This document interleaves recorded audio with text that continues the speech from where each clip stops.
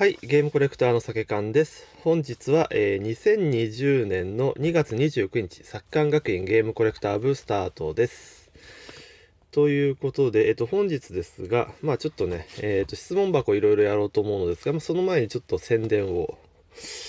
はい。えっとね、えっと、まあ先日、Kindle の方でね、えっと、パケ野郎123というパあの、まあ、Kindle 本を販売しました。見にくいな、これ。えっと、まあ、要は、パッケージ、まあ、ゲームコレクター的にね、パッケージゲームっていうのはね、やっぱり大事にね、集めながら大事にこう、情報を伝達、あ、こんばんは。情報をいろいろ出していこうと思いまして、まあ、パッケージゲームをね、こういう、まあ、見方もあるよう的な本をね、出してますので、ぜひお願いします。ということで、えーっとね、今日、最初にね、扱うのはね、まあ、本当は質問箱をさ一気に行った方がいいんだけど、やっぱりね、あの、国内情勢のね、悪さね、あれはちょっとね、一個話をしとかないといけないかなと思いまして、えーっとね、まあ、まあ、安倍政権はもう、まあ、ダメでしょうね。まあ、ダメなんだけど、ただ、この、まあ、コロナ関係のやつはある程度収束をさせないとどうにもならないと思うので、まあ、僕はね、これ、安倍さんに対してね、この3つを要求したいっていうのがあるんで、ちょっと話をね、したいなと思うんですけど、まあね、あのーまず1つ目にね、あのー中国へのね、渡航制限、まあ、中華人民共和国へのね、渡航制限をね、もういい加減しろよって感じです。まあ、この、まあ、当然、まあ、一つ目が出る方でね、二つ目は入る方ね、中華人民共和国からの入国禁止も、これもね、しっかりやった方がいいと思います。でね、正直1月の時点でその2つをやってれば、この来週からの3月2日からの小学生とかのあの、なんだ、あの、休校の問題をやって、あの、切り抜けられたと思うんですよ。でもそれやってないから、結局ね、なんか僕らみんなにはこう、なるべく家にいなさいっていう話にして、で、でも、ね、菌を持ってる、菌じゃないや、ウイルスを持ってるかもしれない人をこうね、国内にはどんどん入れます。で、しかもね、そう、ストップするためには多分ね、中国に人が、中、中華人民共和国に人がね、あの、いるっていう、いるから閉じられないっていうね、問題があるんで、結局これ今ね、やってることって、中華人民共和国に仕事を持ってってしまってる人、仕事を持ってってる大手とかに気を使って閉められないんで、もうね、今回、子供なんか勉強したいのにね、休校になってるでしょ。いきなりもうバシッと。まあ、たかだか数日後の話をバシッと切ってるでしょ。だから今回も、ね、中華人民共和国に今いる人たちも、この後日本入れませんよってバシッとね、もう来週からとか言って、決めちゃえばね、もう、あとはもう企業がもうね、腹を据えてやるしかないと思うんで、まあ、それをやってほしいなと思います。でね、で、3点目、これが大事なんですけど、あの、二階幹事長のね、国外追放ね、これやらなきゃダメだと思います。まあ、要はね、やっぱり、あの、カジノ問題、ねえ、もあるし、まあ、カジノ問題に関してはね、実は僕、Kindle 本の方でね、えっ、と、先日販売したね、この、ゲームコレクター作家の時事問題にはゲームを令和2年行くゴーン来るコロナってこれの中でね、まあカジノ問題も一応扱ってるんですけど、まあそこにはっきり言ってこう2回か、2回、2回なんで、俊弘か、の名前をね、こう入れてちょっと話も書いてたりするんですけど、まあ結局その、あ、ありがとうございます。あの、書いたんですけども、まあ、要は、やっぱりカジノ問題ね、今なんかもう終わ、りそうじゃないですか、話が。でも、あれをね、クリアしないとね、例えば、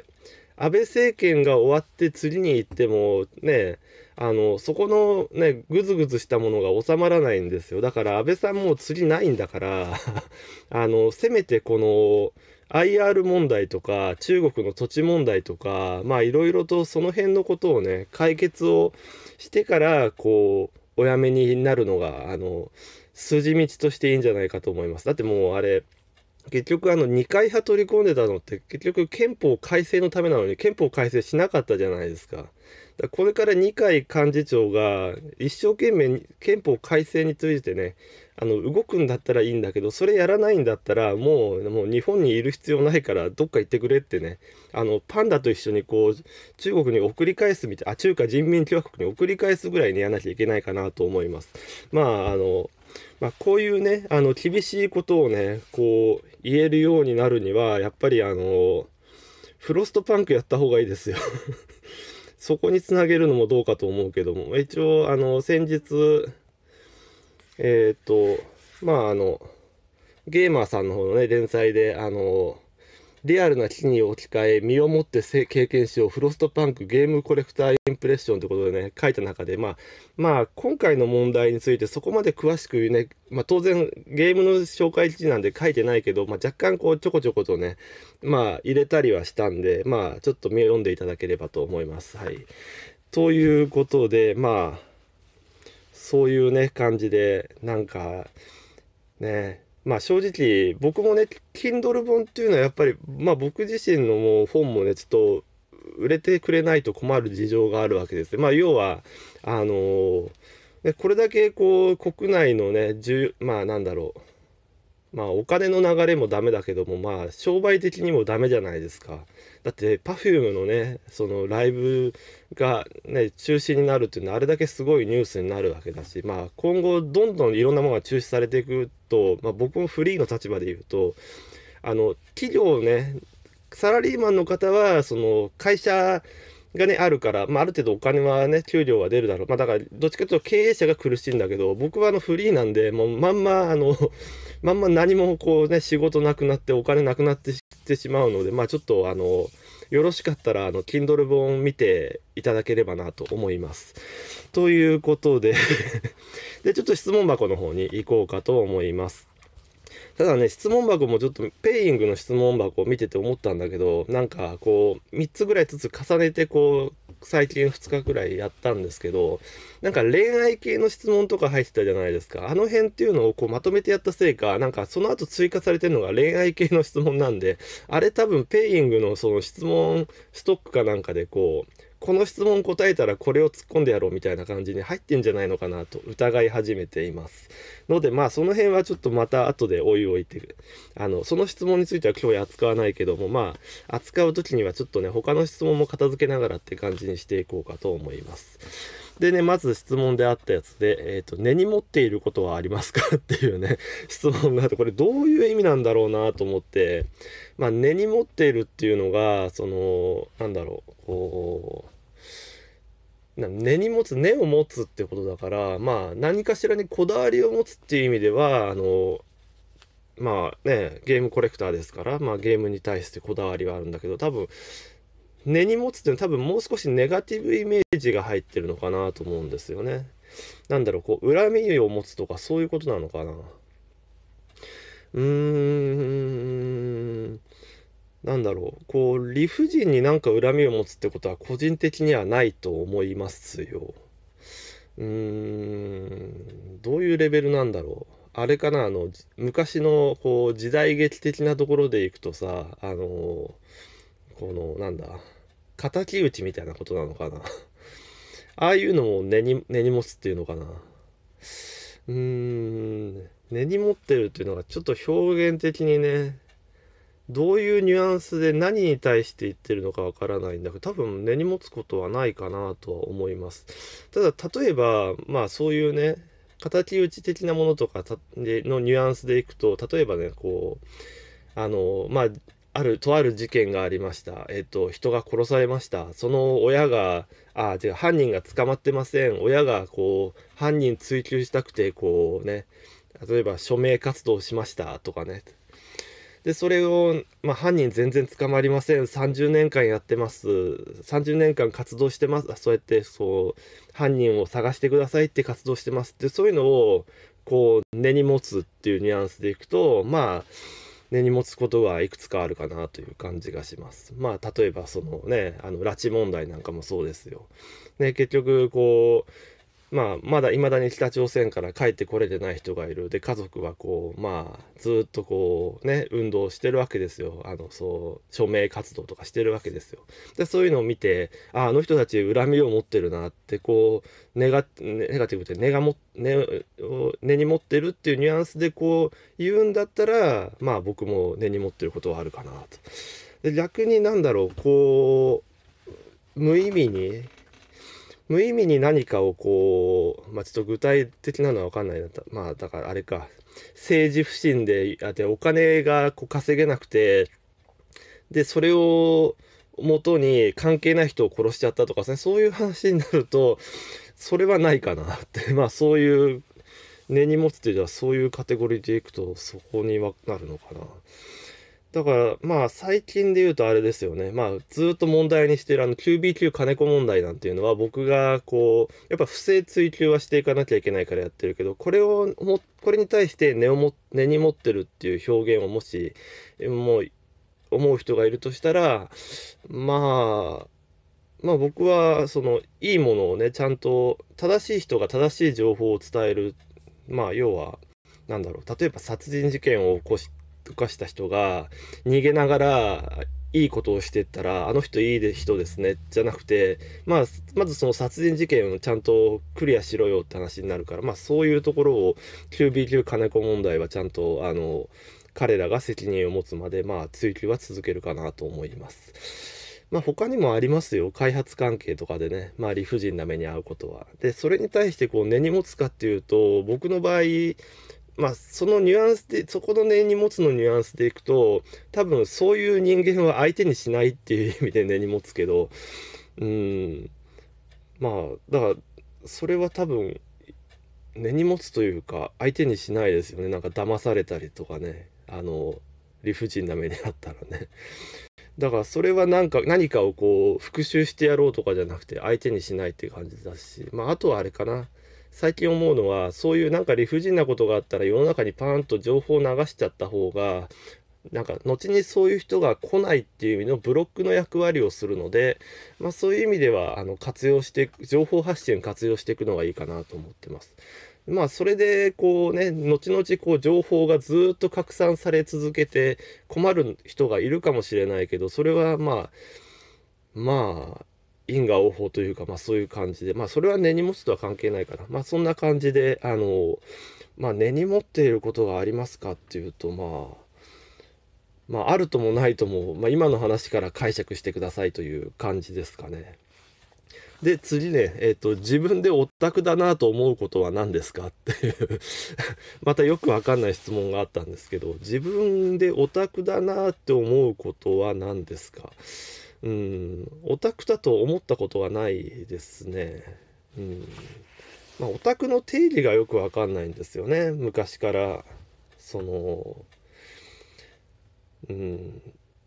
だからオタクっていうのは多分その辞書に載ってんのかな。まあでもまあ新語だと思うんですよ。80年代ぐらいからできたね。ただその、うん、まあ、マニアって言葉もあるか。でも多分、多分マニアって言葉は英語かなんかだと思うんですよね。で、オタクっていうのは単純にその、なんか、なんだろう、一説によるとって感じの言い方ですると多分、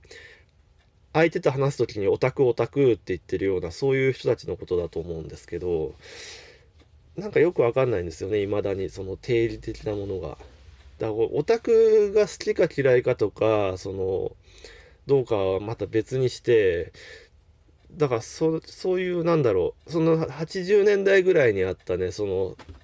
なんだろうオタクっていうのが出て言葉が出てきてで漫画なりアニメなりとかまあ映画でもいいんだけどそういうところで使われてきたのステレオタイプのオタクに関しては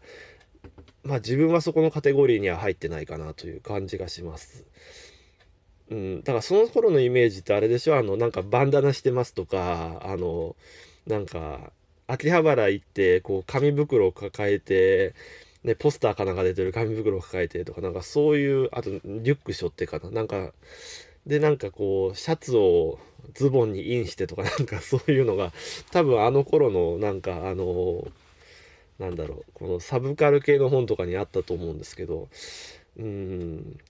だから自分がそういう方向性全くないんで、まあ、オタクだなと思うことはないですよね。これどういうニュアンスで質問されたかわからないんで、あの、この質問をされた方はね、これ以上何か具体的な話が欲しいようだったら、こう、追加質問していただければと思います。でちなみにね、オタクというものはね、あの、ゲームでもね、オタクってつくゲームが1個出てまして、まあ、オタクの星座っていうね、ファミコン時代のね。でも、オタクっていうニュアンスでいくと、その、今のね、オタクの話でいくと、そのオタク、消費行動を求める方の、まあ、筒のね、多分、オタクというのと、オタクという人たちが好みそうな、なんか媒体、まあ、まあ、ゲームでも、まあ、アニメでも、漫画でも、何でもいいんですけど。のという意味では、その、こっち側の先にある媒体の方のニュアンスのパッケージですよね。彼ら、彼女たちが、まあ、オタクってわけじゃないですよね。この表現でいくとね。で、オタクの星座、えっ、ー、と、アンアドベンチャー・イン・ザ・オタク・ギャラクシーということでね。まあ、なんのこっちゃって感じですけど。でもファミコンのソフトなんですけど、まあ、M&M という会社がね、出してるんですけど、多分この1本しか出てないと思います。はい。まあ、パッケージのね、こんな感じですね。まあ、割とこうシンプルですよね。表現的に。まあ、赤いパッケージにメインビジュアルボーンでロゴが入ってる。特にこうロゴとメインビジュアル重ねないところが、まあ、こだわりなのかな。で、裏面。弱い男はされ、異色の辛口ロールプレイング。世の中は女の時代、オタクちゃんと呼ばれ、虐げられる男たち。宇宙全宇宙の男をドツボから救えるのは君しかいない。大宇宙に君臨する女神様を口説き落とすのだ。並みいる修羅、かっこモンスターたちを蹴散らし、立ちふさがるオーロラ5人娘を、えー、怒鳴り倒す。女神のシーンは一体どこにあるのか。謎の男、えー、っと、な、えー、寿司五郎の正体は、そして男としての、えー、優しさとは、美しさとは、知性とは、次々と降りかかる謎の数々、一つの冒険をこなすごとに、君は一一歩ずつ確実に本物の男に近づいていくのだ。で、二大巨頭を立つってことで、シナリオ原案が本宮宏さんで、キャラクターが江口久さんという、まあこういうコンビのね、えー、っと、ゲームなんですけど、うん。で、これでいくと、このね、オタクの星座のここのね、その説明だけを見ると、男っていうのの、なんだろう、虐げられてる男が、ね、あの、オタク、男がオタクちゃんで、で、そこから確実に本物の男に向かうという、こう、まあ、まあ、こうかな、登っていくようなイメージなんで、これでいくと、最下層の人間のようにしか見えないんですよね。いいのかな、それで。まあ、だとしたら、うん、僕はオタクじゃないんじゃないかな。はい。まあ、一応ね、手取説、まあ、一応ストーリーあるから読もうかな。時は未来。世の中は女の時代。まあ、これもね、だから、まあ、もしかしたら、まあ、封建的なね、男の時代っていうのが、まあ、多分、まあ、江戸時代ぐらいかな。まあ、でも明治、大正、まあ、昭和も最近ぐらいも、一応男の時代なのかもしれないですね。で女の時代って言うと、まあ、今はわかんないけど、ただ男と女がこう、比率的にこう、女性の方が上になっていくっていうよりは、多分こう、ね、フラットになるのが一番いい状態だと思うんですけどね。で、世の中の情けない男たちはオタクちゃんと呼ばれ、情けない男って書いてあるんじゃん。えっと、呼ばれ、えー、蔑まれていた。社会は荒廃し、えーえー、地には正体不明の凶暴な野獣、修羅が溢れ出す。この惨状を見かねてか、大宇宙に君臨する美しき、あ心優しき、えー、女神マーヤは地球に向け強力な死者を送り込んだ。それが、女神の側近の中でもえりすぐりの、えー、親衛隊オーロラ五人娘である。しかし、この人たちの訪れは決して男たちに希望をもたらすものではなかった。なんとオーロラ娘は修羅を自在に操りオタクちゃんたちを苦しめ出したのだ。女たちは口々に噂する。オーロラ娘は情けないオタクちゃんを滅ぼすために使わされたのよ。男たちにますます卑屈になっていく中、一人の男が本物の男を目指して立ち上がった。そう、それこそがこの物語の主人公、君自身なのだ。というところでいくと、あの、このゲームをプレイした時点で、あの、自分はオタクだなと思わなきゃいけないのかもしれないですね。はい。えっ、ー、と、オタクの画像を検索してましたが、えー、全員独特の雰囲気、えー、してますね。あ、そうなんだ。いやー、どうなんだろう。オタクってだから、なんかちょっと、あの、電車男とかなんじゃないですかね、多分。この、この、まあ、だいぶ、あれもだいぶね、えっ、ー、と、作品的には昔ですけど、でも一応こうネットが流行って、まあ、あれ、あの時2チャンネルか。2チャンネルとかのね、ああいう流れなんで、まあ、最近だけど、あれもね、あのまあ、まあ、主演のね、俳優さんはね、まあ、イケメンな人を使っていつつ、だからこう、あの、小ざっぱり綺麗にすればかっこいい男になるよってなれるかもしんないけど、世の中はそんな人ばっかりじゃないよっていうね、悲しい現実を突きつける映画なんですけど。はい。で、まあ、オタクの星座っていうのはまああって、実はね、もう一個 PC エンジンでこういうの出てます。はい。オーロラクエスト、オタクの星座 in another world ってことでね、まあ、まあ、アレンジ移植的なものですよね、これに関しては。うん。はい。まあだから、こっちではすごい小さく扱ってて、まあ、任天堂機使って、なるべくこう全身が映る、小さく映るものにしたのが、まあ、下着、下着じゃないな。まあ、この服装がね、はっきり見える、胸が強調されるものが PC エンジンでは使われたと。まあ、あの動画だとね、最近は乳首がうるさいみたいだけど、まあそういうのはなくても大丈夫。まあ、まあ、あの、アップにしてもそうはならないんですけどね。で、まあ、裏面、はい。うんだから、こう、あ、でも、このメインビジュアルがこうなったわけではなさそうですね。ちょっと若干ね、うん、だから、こう、似てるんだけど、この手がないんですよね。で、あと、髪の色もちょっと変わってるんで、ちょっと、全く同じメインビジュアルを使ってるわけではないということが、まあ、確認できるかな。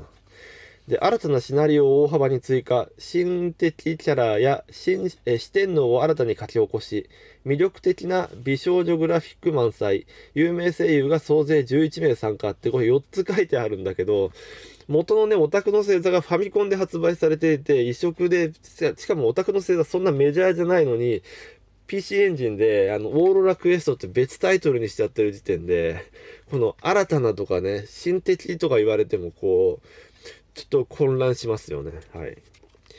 えっ、ー、と、人類最後の世界大戦が終結した近未来の地球。混乱と、えー、大敗が蔓延する中、男の威信は地に落ち、支配権は今やオーロラ5人娘を筆頭とする女たちに握られていた。このままでは人類に明日はない、と、立ち上がった一人の男、それが君だ。男の威厳をオーロラ5人娘に全女性に思い知らせることができるであろうか。真の男の尊厳を世界に向けて問う驚愕の創世常時史 RPG ここに開幕っていうことでね。またすごい大きく出ちゃったなという感じのタイトルになってます。まあこれはストーリーは、まあ、読む必要ないな。まあまあとにかくねあのこういう感じでまあ、タイトルを変えてるのは、まあ、もしかしたら、その、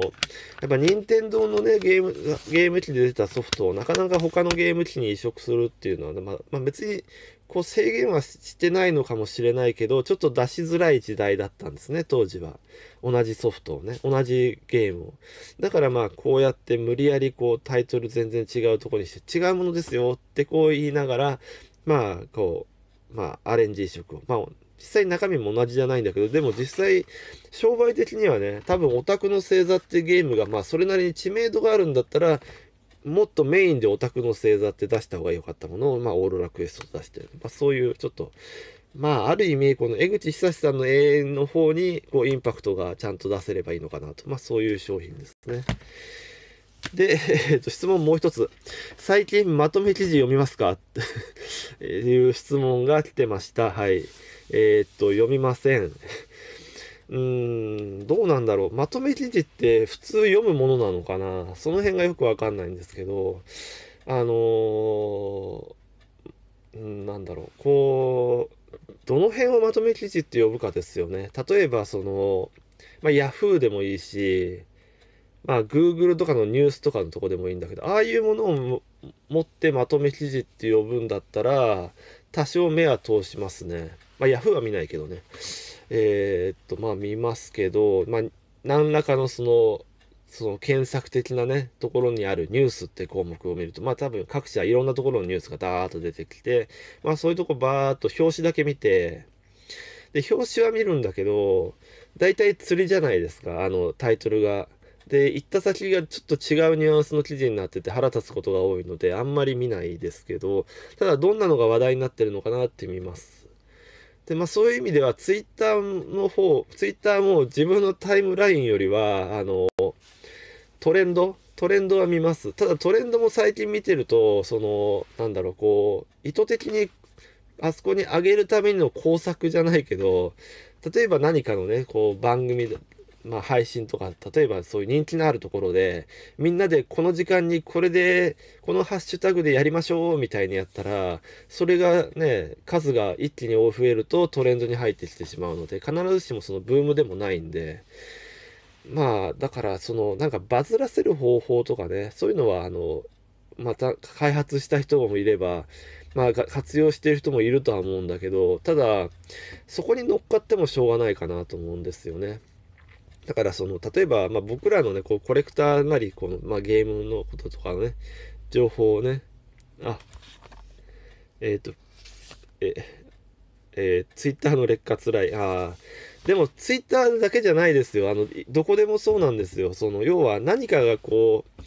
まあ、テレビだってそうじゃないですか。昔はね、まあこれ昔って言うとじじくさくて嫌なんですけど、昔はね、本当に、あの、まあ0分とか30分とかで霧のいいね、時間帯に番テレビ番組が始まったけど、で、54分とかからニュースとかがあってね、その、要は、埋め合わせ的な感じでバランス取ってたんですよ。それが今は、その、そういう54分とかのあたりから番組が、次の番組が始まって、要は、その、あの、途切れず見させようっていう試みですよね。で、あと CM なんかも、その、一つの番組の中で、こう、えー、この真相は、みたいな感じで煽りを入れてから CM 流して、その後に、まあ、その後流してたんだけど、しばらくすると、それ、その後も流さないでしばらく間を持たせてから流すようになったりね、そういう使い方をしていくと、ああ、テレビも劣化したなって、まあ、そういう感じでいくと、まあ、YouTube もそうですよね。今、YouTube って結構、あの、禁止ワード的なのが、要は、広告が落ちるワードとかいうのがあるので、そうするとみんなその言葉を使わないで違う言葉で、その同じ事象をせ、まあ今の新型コロナウイルスなんかそうですよね。なんか今新型コロナウイルスはニュースとしてこう、ニュースじゃない話題にしてもダメなんですよね。広告が落ちるらしいんですよ。僕の動画をこうアップするときに広告つけないから関係ないんですけど、あの、だから皆さん広告で、あの、しょあの、食べてる人たちは、あの、一生懸命そこを違う言葉に置き換えたりしてるけど、でもニュアンス、あの、要は、YouTube なんかは、あの、Google のね、グループなんで、あの、この言葉で喋ったものを全部テキスト化するなり、で、それの意味を、意味をね、解釈して、これはそういう意味だって感じで、あの、落としたりしてるらしいんで、まあそこまでね、今 AI が進んでるんですけど、まあ逆に言うと、それをかいくぐるようなことをやらないといけない。